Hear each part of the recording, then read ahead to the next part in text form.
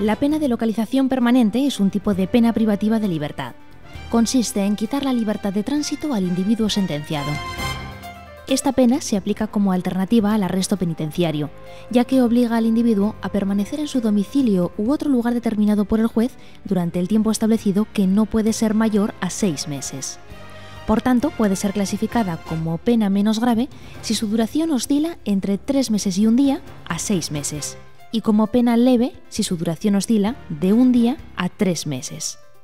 Se controla su cumplimiento mediante medios mecánicos o electrónicos que permitan la localización del reo, como por ejemplo un sistema de vigilancia permanente.